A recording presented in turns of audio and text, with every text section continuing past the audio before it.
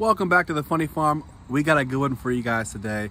Hope you enjoy the video. Stick around. We're gonna try to work on a recovery, maybe equipment recovery, maybe a tractor recovery.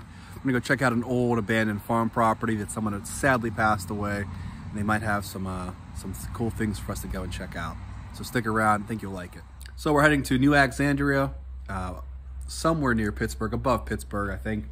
And uh, my brother and I are gonna go and take his truck and trailer and uh, see if we can find anything worth uh, worth saving.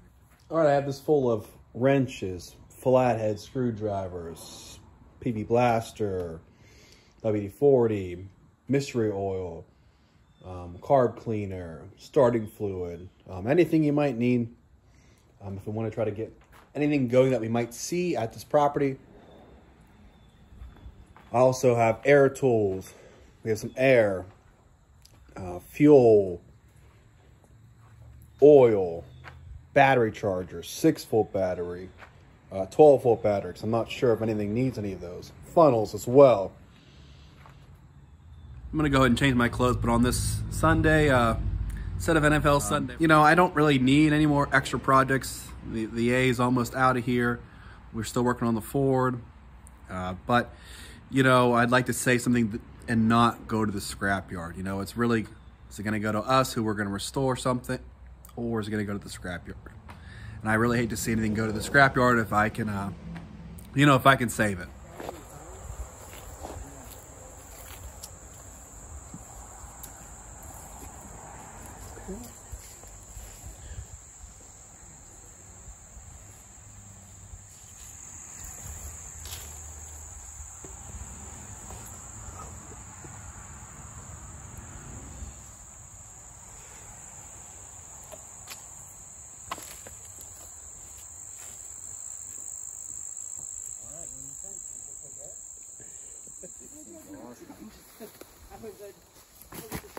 I mean, it's kind of exactly what you're looking for. It's a little bit bigger. It's a little bit bigger, but I mean, I do like my international.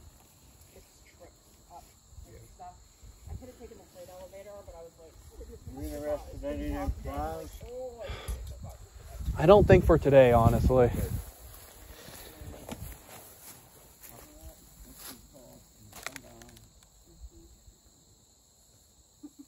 I mean, if you could, if you could, if we could get the blade off here, right? Mhm. Get under it, change that. Pins take the blade Yeah, it pops right off, right? It's heavy. Right. Pin on both sides and the center pin. Yeah. You just change the oil. The Mud that I was pushing at and it sunk. and I pulled the three pins up under it and ended up driving up over the blade to that. Went straight ahead and down over the bank. Bank. Right, then I got a long chain, drug the, drug the blade out. Didn't hurt it any. No. yeah, they broke nicely. Done. That's hilarious. To see it. Yeah, if you could change the. I think you could, be, you could get lucky with the diesel of firing up. Hot though. Mm-hmm. You'll start spinning it over, yeah. Cause there's the carburetor for the Back in the heyday. Nice KB series International. This is really cool. Too bad it's so rotted out, but. Anything in here? Oh, yeah, she's in there all right. Is that a flathead?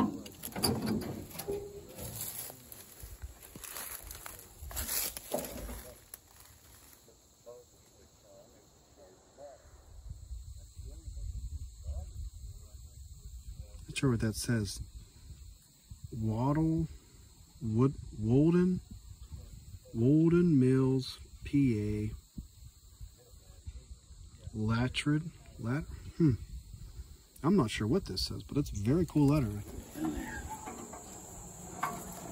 coming up.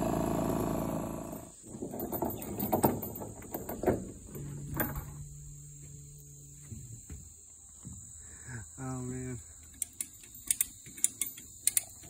You have a space move for these dudes? Yeah. Ryder says, please like and subscribe for some more action.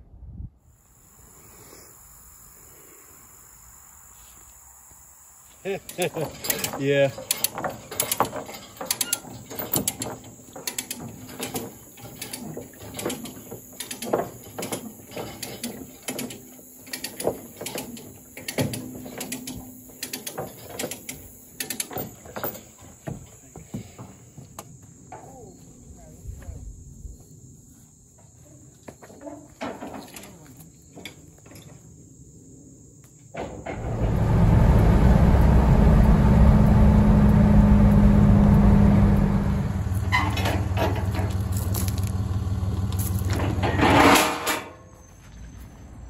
Both tractors are now unloaded here at the farm.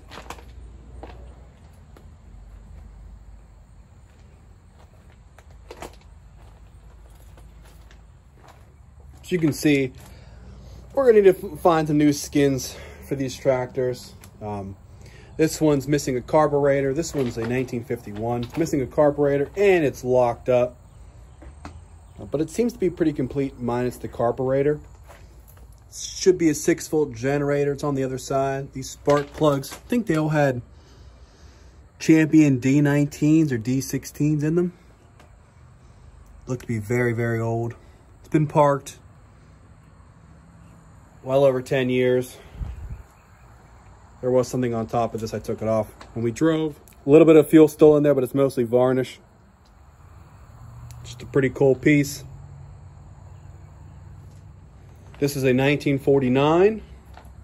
Does spin, so it's not locked up. Has this cool, cool mirror on it. I like that touch. Uh, both hydraulic tractors, which are great. Uh, this one does have that carburetor on it, six volt generator. They're gonna need a lot of work. But like I said, they're not dead yet. And they're gonna be great workhorses for a long time to come. So now that I'm home, I just wanted to showcase some of the cool things they gave us with these tractors. So we have our owner's manual for the Cub. There's two of these here original. Um, mm, not in the best condition, but it's pretty cool. Um, some manuals for some of the attachments they have, the ignition packages, grading blade, uh, some of the uh, sickle bar mowers they had there, and the, the rear rock shaft unit, which is pretty cool. I thought that the coolest thing they had was a delivery report. So one of the Cubs was a 1949 the other was in 1951. Seems like the 1951 was delivered May 1st, 1950 to a new Alexandria, PA, to a Harry Tar, Harry M. Tar. And that's the farm that we were at, the Tar farm. Um, this gentleman had passed away, and his son, one of his two sons, bought the property. That son had just passed away. So these tractors have not left that farm since originally delivered. So it was the original farm homestead for those tractors, which is really cool. And it has some of the pre-delivery service, all the cool things that they checked over.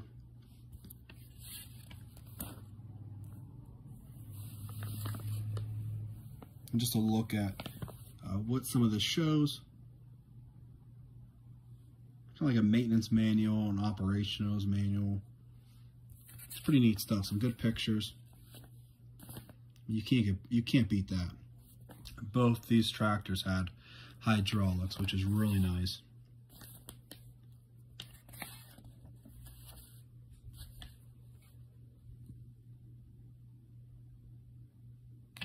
I just really wanted to share this. I thought it was so neat. I mean, how cool that they kept all this, you know, after 70 years, they kept all of this information. So again, I just really wanted to be able to save these from the scrapyard. If there's something we could do to do that and restore them, get these running, and that's that's something I'd like. To. And with that, I appreciate it. Thanks for watching the video. Hope you enjoyed it. Give it a like and give us a subscribe. It doesn't cost you anything and it really helps me out. So until next time, uh, look out for our next Will It Start video.